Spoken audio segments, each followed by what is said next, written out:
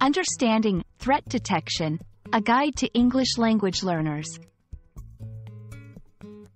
Hello, and welcome to our English learning series. Today, we're going to explore the phrase threat detection. It's a term you might encounter in various contexts, from technology to personal safety.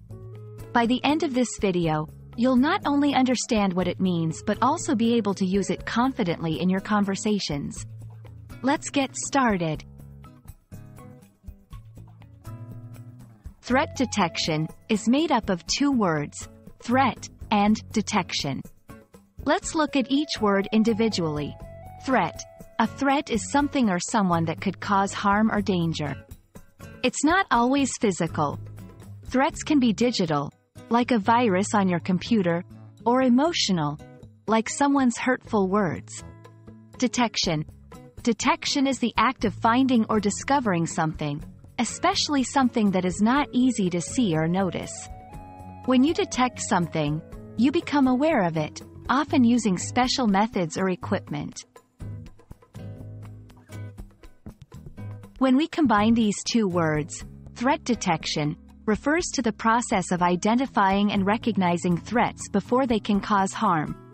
This term is commonly used in security systems, like in a security camera system that detects intruders in a building. Computer software, like antivirus programs that detect harmful software on your computer. Personal safety measures, like being aware of your surroundings to detect potential dangers. Understanding threat detection is not just about knowing the definition. It's about recognizing how it plays a role in various aspects of life. To help you understand better, let's use threat detection in a few sentences. 1. The airport has a sophisticated threat detection system to ensure passenger safety. 2. Cybersecurity experts are constantly updating threat detection algorithms to protect against new types of computer viruses. 3. Effective threat detection can prevent potential hazards in a crowded event. Notice how the phrase can adapt to different contexts, emphasizing its versatility and importance. And that's a wrap on threat detection.